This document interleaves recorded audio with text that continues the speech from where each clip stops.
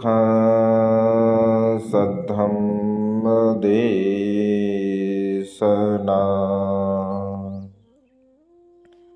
सुखा सङ्घससामग्गी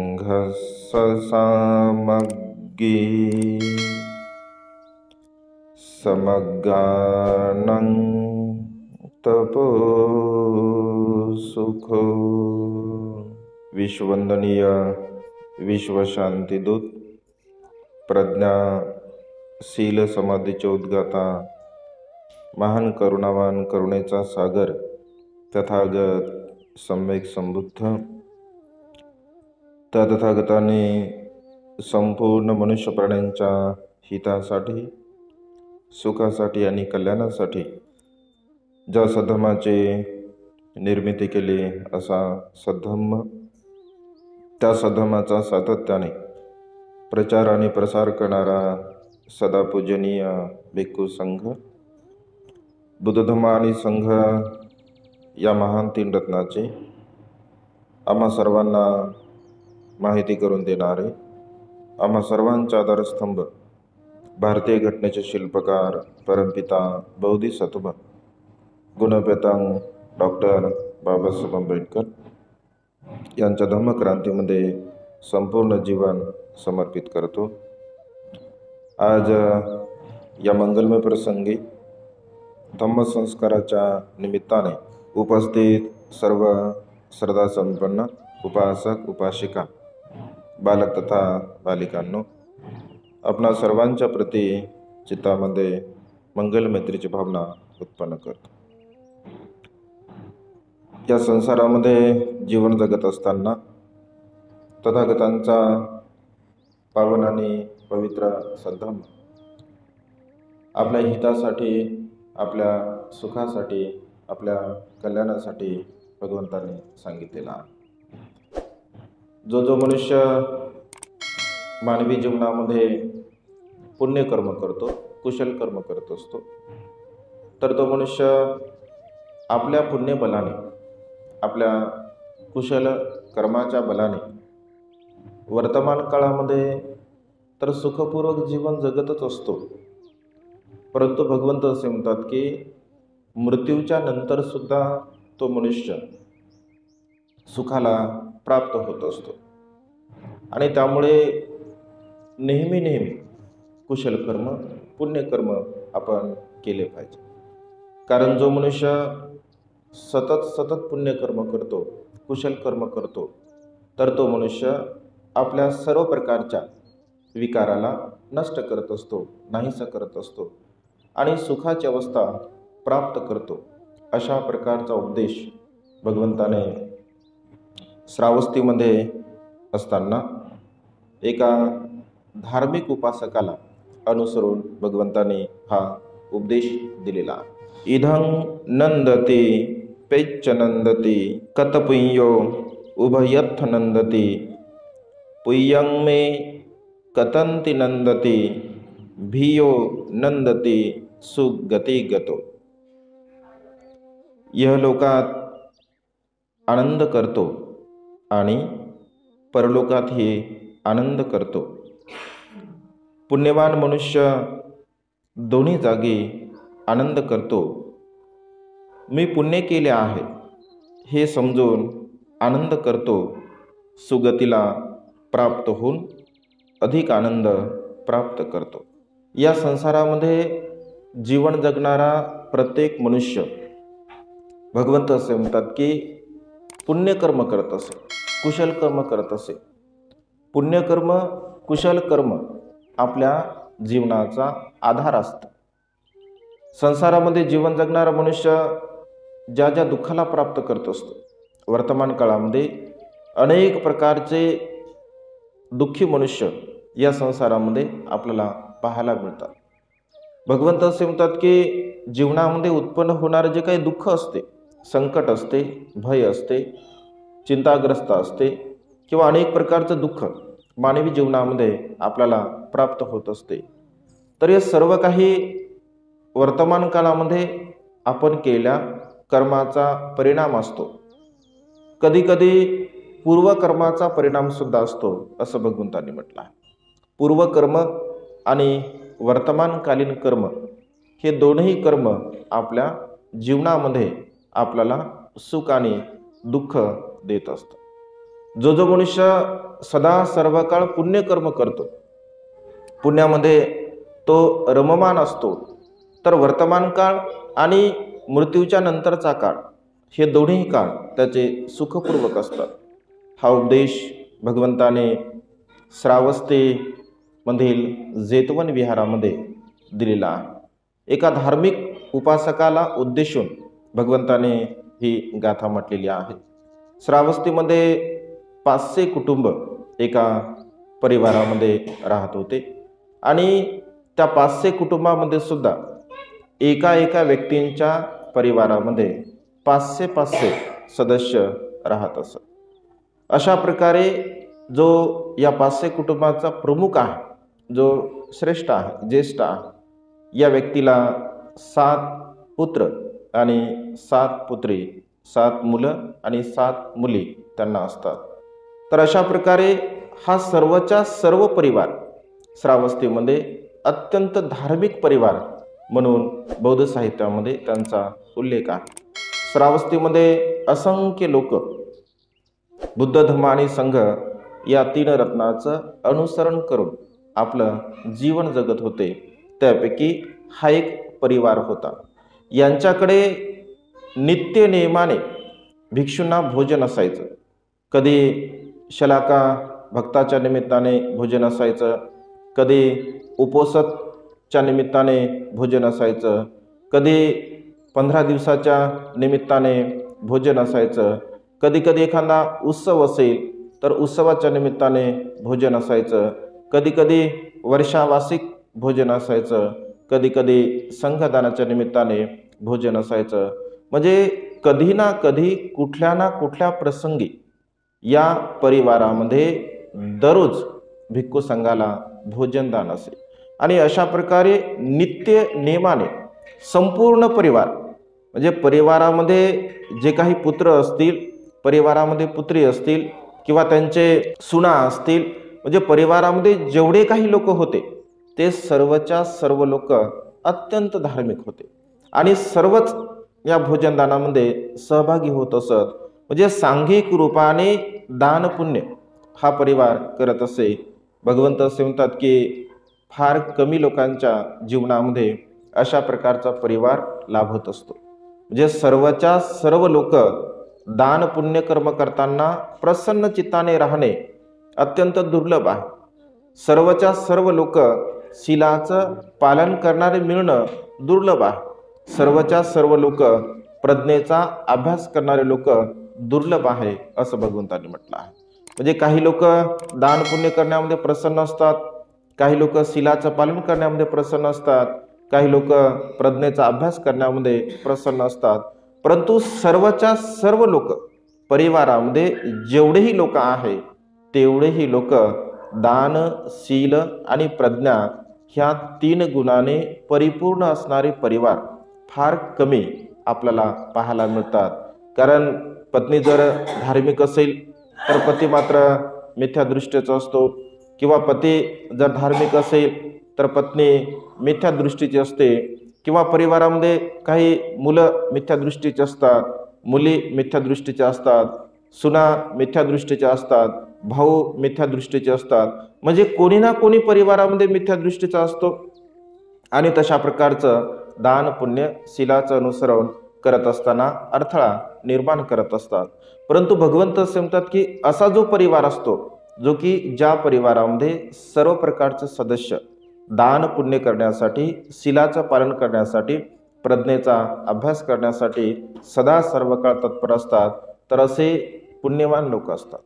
हे कुशलकर्मी लोक असतात चांगल्या प्रकारचं जीवन जगणारे लोक असतात आणि हा जो परिवार आहे नित्य नियमाने कधीही यांचा दिवस चुकत नसे की भिक्षूंना भोजनदान नसे. आणि अशा प्रकारचं धार्मिक कृत्य करत असताना हा उपासक आपलं संपूर्ण जीवन जगत असतो. आणि संपूर्ण जीवन जगत असताना असं म्हटलं आहे की जीवनाच्या शेवटच्या भागामध्ये म्हणजे ऊर्धप काळामध्ये या मनुष्याला एक रोग होत असतो. आणि रोग झाल्यानंतर मग तो दुःखी होत नाही कष्टी होत नाही. तर त्याला असं वाटतं की आता आपण मृत्यूला प्राप्त होणार आहोत. तर मृत्यूच्या पूर्वी आपण भगवंताची देशना श्रवण केली पाहिजे. तो आपल्या परिवारातील सदस्यांना सांगतो की तुम्ही कोणीतरी भगवंताकडे जा आणि भगवंताला निरोप पाठवा की अशा अशा प्रकारचा धार्मिक उपासक धम्म श्रवण करण्याची इच्छा व्यक्त करत आहे. दान पुण्य करण्याची इच्छा व्यक्त करत आहे. आठ किंवा सोळा भिक्कूंना भगवंताने पाठवून द्यावं. पूर्वीच्या काळामध्ये ही परंपरा होती जे धार्मिक लोक होते जे श्रद्धावान लोक होते. तर अंदाज असतो एखादा वृद्ध व्यक्ती मृत्यूला प्राप्त होत आहे किंवा होईल आता अशी भावना जेव्हा मनामध्ये निर्माण होते तर मग धम्म श्रवण करता करता त्याने मृत्यूला प्राप्त व्हावं अशी परिवारातील लोकांची इच्छा असते जे लोक धार्मिक असतात ते. याच्यामध्ये कुठल्याही प्रकारचं कर्मकांड नाही याच्यामध्ये कुठल्याही प्रकारची अंधश्रद्धा नाही कारण मृत्यूच्या समय जर आपल्या कानावरती बुद्धांचं वचन पडत असेल तर आपलं मन प्रसन्न होते आपलं मन आनंदी होते. आजही धार्मिक असे भरपूर उपासक आहे की भिक्षूंना घरी नेऊन म्हणजे परितदेशना परित्राणपाठ पूजा घेत असतात. तर त्या व्यक्तीच्या मनाला प्रसन्नता लाभावी. त्या व्यक्तीच्या मनाला आनंद लाभावा हा त्यामागचा उद्देश होता. आणि ही परंपरा भगवंताच्या काळापासून आपल्याला पाहायला मिळते. तर मग जेव्हा निरोप पाठवला जातो तर भगवंत त्या ठिकाणी सोळा भिक्कूंना त्या उपासकाच्या घरी पाठवत असतात. आणि त्या भिक्कूंची यथायोग्यपणे बसण्याची व्यवस्था केली जाते. आणि अशा प्रकारे त्या धार्मिक उपासकाचं आसन म्हणजे ठेवल्या जातं की चारही बाजूने त्या ठिकाणी भिक्षू बसत असतात आणि परितदेशना करत असतात. मग तो उपासक भिक्षूंना विचारतो की म्हणते माझा काळ समीप आलेला आहे.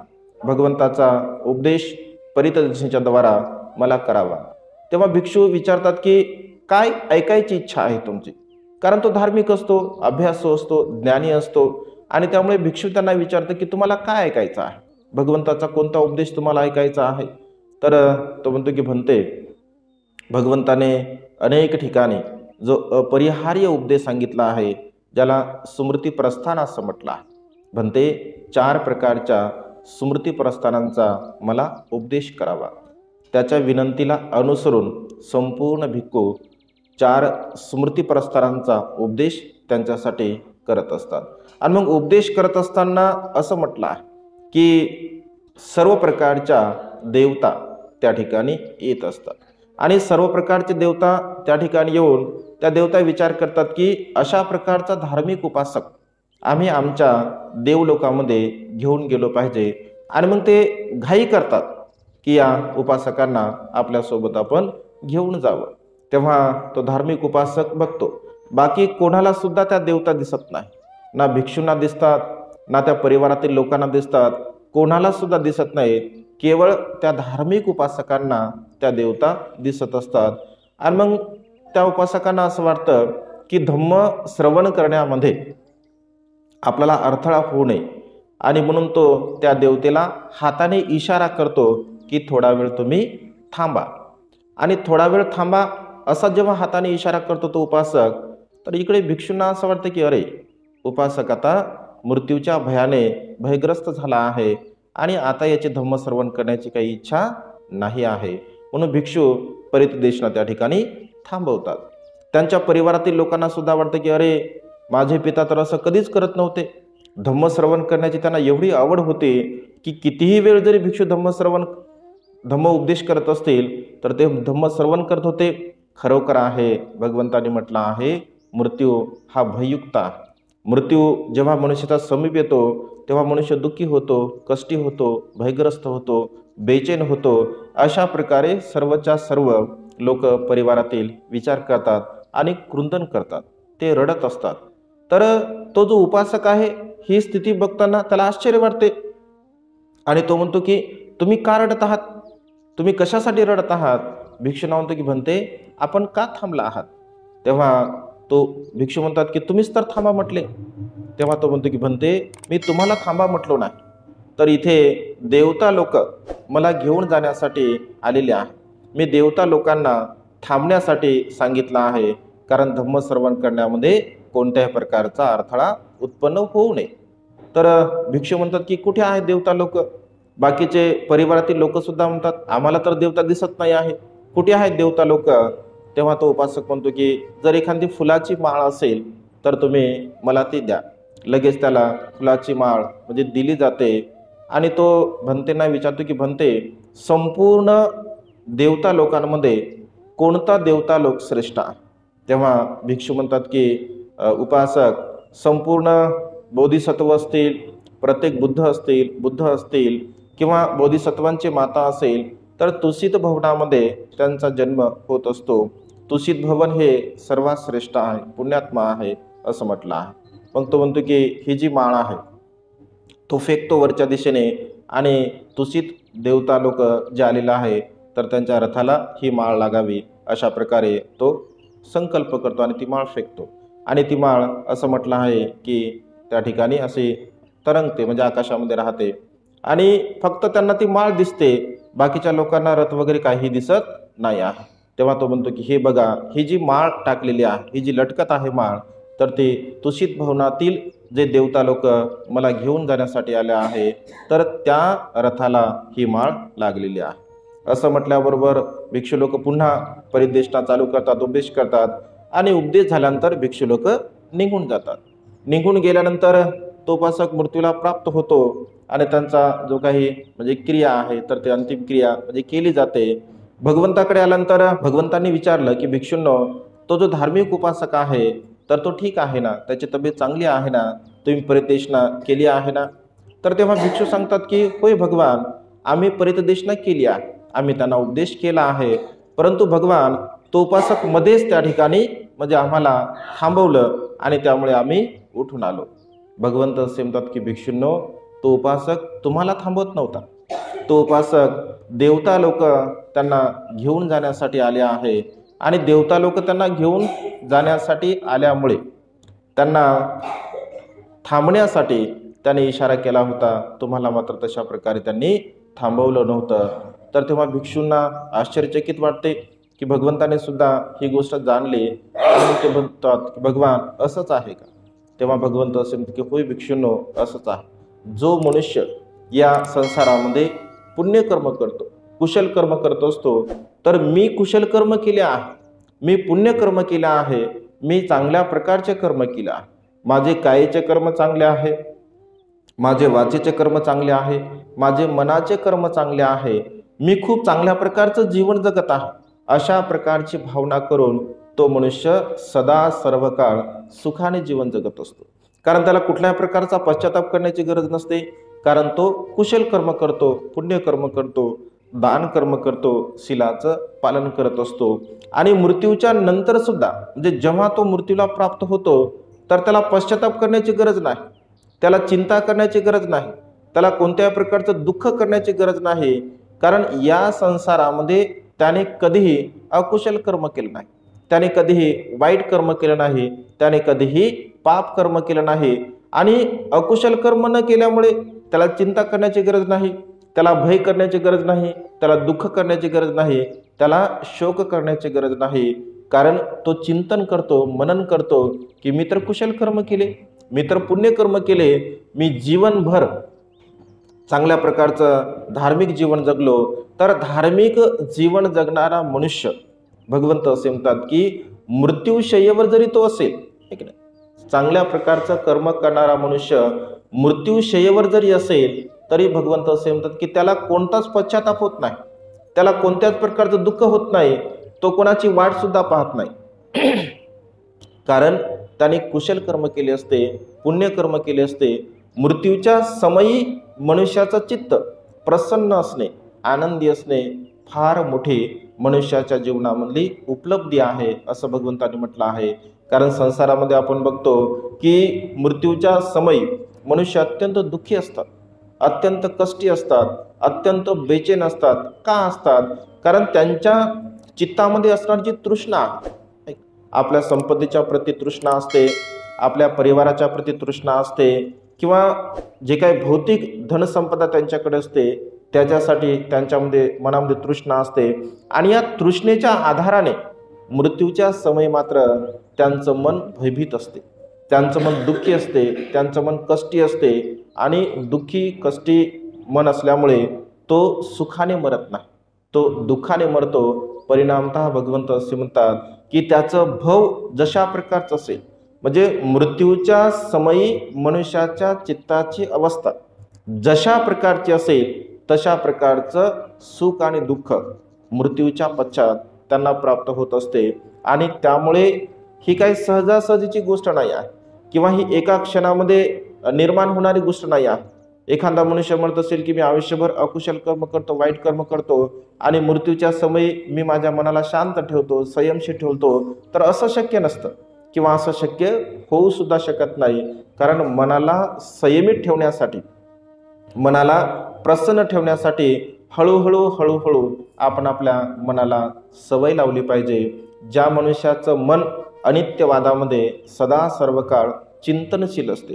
सदा सर्व काळ तो मनुष्य चिंतन करतो मनन करतो की मला कुशल कर्म करायचं आहे मला पुण्य कर्म करायचं आहे मला चांगल्या प्रकारचे कर्म करायचे आहे. आणि अशा प्रकारचा पुण्य कर्म करणारा मनुष्य शिलाचं पालन करणारा मनुष्य दान पुण्य कर्म करणारा मनुष्य नेहमी समाधीची भावना करणारा मनुष्य मैत्रीने युक्त जीवन जगणारा मनुष्य मनामध्ये अनंताने असीम करुणा उत्पन्न करणारा मनुष्य मृत्यूच्या समयी अत्यंत सुखाने मृत्यूला प्राप्त होत असतो. त्याला कुठल्याही प्रकारचं भय नसते दुःख नसते कष्ट नसते. आणि भगवंत असे म्हणतात की भिक्षूंनो त्याने पुण्यकर्म केले होते. त्याने कुशल कर्म केले होते. संपूर्ण जीवनभर तो पुण्यकर्म करत होता कुशल कर्म करत होता.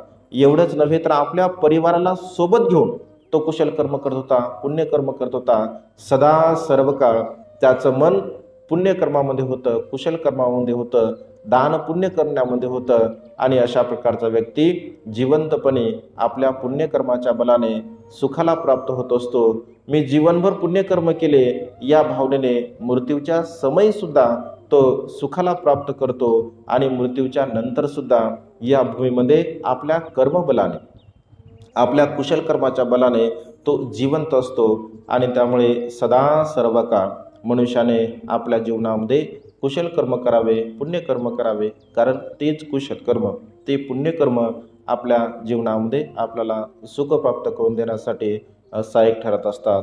अशा प्रकारचा उपदेश भगवंत त्या ठिकाणी भिक्षूंना देतात. ही देशना भिक्षूने ऐकल्यामुळे भिक्षूसुद्धा श्रोतापन्न अवस्थेला प्राप्त होतात. तिथे असणारे असंख्य सत्व धम्माचा लाभ करून घेत असतात. आणि त्यामुळे भगवंत असे म्हणतात की अशा प्रकारचे सदा सर्व काळ आपण पुण्यकर्म करावे कुशल कर्म करावे आणि आपलं हे मानवी जीवन सुखाच्या मार्गाला घेऊन जावे. आजच्या या मंगलमय प्रसंगी अधिक न बोलता आपण सुद्धा आपल्या जीवनामध्ये दान पुण्य शिलाचं पालन करून प्रज्ञेचा अभ्यास करून चित्तामध्ये मैत्रीची भावना ठेवून करुणा भावना ठेवून आपलं जीवन सार्थकी लावे अशा प्रकारची मंगलमय आणि उदात कामना या ठिकाणी व्यक्त करून ही देशना संपन्न करतो. सर्वांचं मंगल हो सर्वांचं कल्याण हो सर्वांना दीर्घाश